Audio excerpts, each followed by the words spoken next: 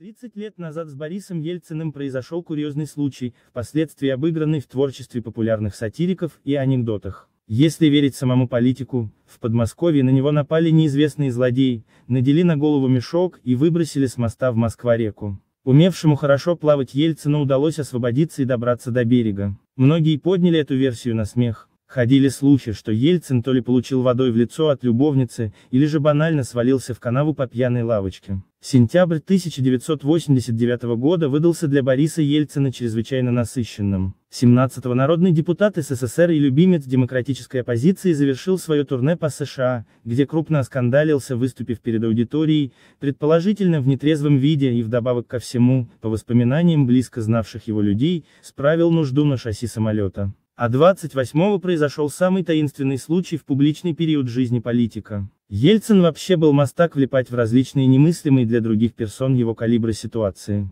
Однако в тот день он переплюнул самого себя, телевидение передало, газеты написали Ельцин упал с моста. Шел в гости к другу. Что случилось у элитного дачного поселка Николина гора в Одинцовском районе Московской области, до сих пор не знает никто, а единственный человек, кому точно были известны все обстоятельства ЧП, унес этот секрет с собой в могилу. Официальная версия гласит, что 28 сентября лидер протеста выступал перед общественностью то ли в Раменском, то ли по другим данным, в московском районе Раменки. После этого Ельцин намеревался посетить своего приятеля Сергея Башилова, оба строителя по профессии, знали друг друга еще по Свердловску, а в 1980-е работали на руководящих постах в Госстрое СССР. Депутат отпустил шофера в нескольких сотнях метров от цели и остаток пути решил пройти пешком. Настроение у Ельцина было отменное, в руках – букеты подаренных избирателями цветов. Однако на Башиловской даче в Успенском он так и не объявился. Супруга Ельцина Наина и дочь Татьяна Дьяченко оборвали телефон,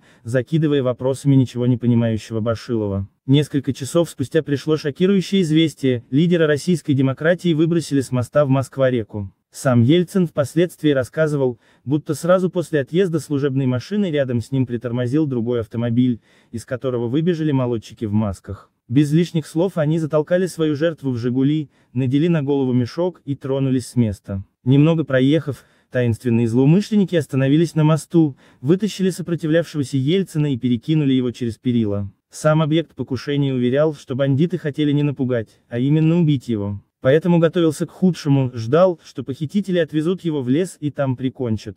Если верить объяснениям, приведенным в знаменитой ельцинской автобиографии «Исповедь на заданную тему», спастись ему помогли хорошие навыки пловца. Ельцину удалось освободиться от мешка и добраться до берега в холодной воде. Свое решение не разглашать детали происшествия он тогда объяснил желанием не провоцировать стихийные выступления сторонников. В знак протеста против покушения на митинге якобы могли собраться десятки тысяч жителей Москвы и Свердловска. Какая все-таки глубина Москва-реки? История приобрела столь широкий резонанс, что по инициативе Михаила Горбачева на заседании Верховного Совета 16 октября состоялось разбирательство произошедшего. Сам руководитель государства был настроен довольно скептически, используя в своей речи фразу так называемое покушение на члена ЦК КПСС. Как заявил в своем докладе министр внутренних дел Вадим Бакатин, ссылаясь на рапорты от первого заместителя начальника ГУВД Московской области, служебное расследование не подтвердило факт нападения. Водитель Ельцина категорически отрицал на допросе присутствие рядом с ними в минуты перед ЧП другой машины.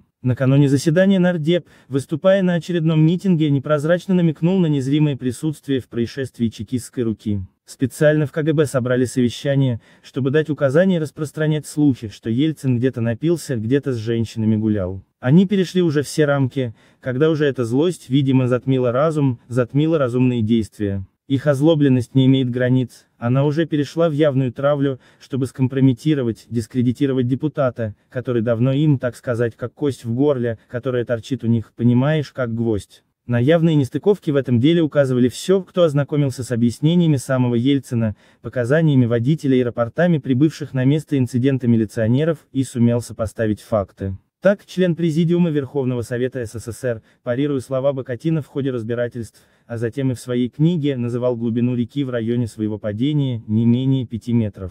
Однако соратник Ельцина, в будущем начальник президентской службы безопасности Александр Коржаков на следующее после падения своего шефа утро исследовал дно и убедился, что река в том месте мелкая, около метра, по версии Бакатина, 1,5 метра. Посмотрите, что со мной сделали. По мнению Коржакова, при падении с примерно 6-метровой высоты моста Ельцин наверняка бы получил значительные телесные повреждения, разбившись одно. «Я увидел, там уцелеть при падении вряд ли можно», резюмировал офицер КГБ в отставке в своих мемуарах, также недоумевая, почему убийцы оказались такими профанами, что даже не смогли нормально завязать мешок и не сковали своей жертве руки. К Борису Николаевичу тогда относились с любовью и надеждой. Он был символом настоящей перестройки, а не болтовни, затеянной Горбачевым. Примчался я к посту в Успенском и увидел жалкую картину. Борис Николаевич лежал на лавке в милицейской будке неподвижно, в одних мокрых белых трусах. Растерянные милиционеры накрыли его бушлатом, а рядом с лавкой поставили обогреватель. Но тело Ельцина было непривычно синим, будто его специально чернилами облили. Заметив меня, Борис Николаевич заплакал. «Саша, посмотрите, что со мной сделали». Я ему тут же налил стакан самогона, приподнял голову и фактически влил содержимое в рот. Борис Николаевич так сильно замерз,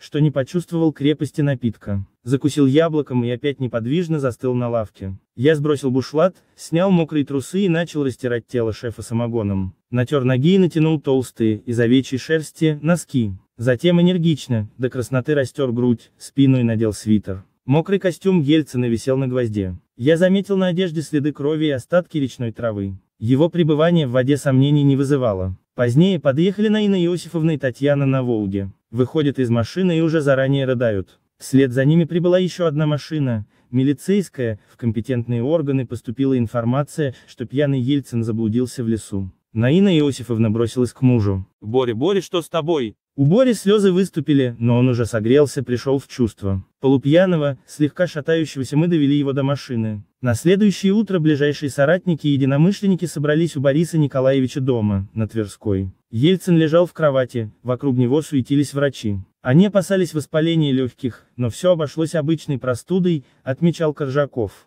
Получил там по лицу, всякое у мужиков бывает. Близкий сподвижник Ельцина в тот период, народный депутат из 1990 года, министр печати и массовой информации РСФСР Михаил Полторанин приводил несколько другую версию, подчеркивая, что вождь оппозиции умело хайповал на всех ЧП, связанных с ним. В тот день мы с ним выступали в Раменском перед избирателями. Нам цветов надарили. Возвращались на служебной машине. Я вышел у метро, свои цветы оставил в Волге. Он с двумя букетами и поехал в Успенское на дачу. Кому надо. И получил там по лицу, свалился в канаву с водой. Всякое у мужиков в жизни бывает. В ту пору любые действия власти против Ельцина шли ему в плюс. Раз Кремль давит, значит, Борис Николаевич прав. Резюмировал Полторанин в интервью «Комсомольской правде», опубликованном в номере за 24 ноября 2014 года. Деликатный Полторанин не просто так умолчал о том, к кому же Ельцин спешил в гости вечером 28 сентября 1989 года. Ходили слухи, что истинной целью депутата являлось посещение вовсе не Башилова, а его домработницы Елены Степановой, с которой у Ельцина якобы был роман. Здесь кроется самое интересное, поговаривали, что приятного времяпрепровождения у популярного политика с любовницей в тот раз не получилось. Они поругались, и Степанова окатила Ельцина водой из попавшегося под руку ведра. Когда виновнику разбирательств в Верховном Совете задали прямой вопрос, он ожидаемо назвал все полным бредом и происками своих врагов. Степанова, которую после инцидента допрашивали на Лубянке, рассказывала следующее. У него какая-то с кем-то встреча была тайная под покровом ночи, он же в канаву свалился, а потом дошел до нашего милицейского поста. Ребята говорили, что весь был в грязи. Правда, интимную связь с Ельциным она не подтвердила. Как ни парадоксально, но после падения с моста народ не только не разочаровался в своем кумире, но стал любить Ельцина еще сильнее, такой вывод в своей книге Ельцин. Кремль, История болезни сделал известный журналист, депутат Госдумы Александр Хинштейн. История стала популярной темой анекдотов, была увековечена в поэме, всплывала в суперпопулярной в 1990-е сатирической передаче «Куклы». 30 января 1990 года газета «Свободное слово» опубликовала стихотворение, в котором, в частности, содержались такие строки. Вот мост через тихую местную реку, с которого сбросить нельзя человека, поскольку по данным замеров, река, под этим мостом чрезвычайно мелка. А вот и Борис, что с моста сброшен в реку, с которого сбросить нельзя человека, поскольку по данным замеров, река, под этим мостом чрезвычайно мелка.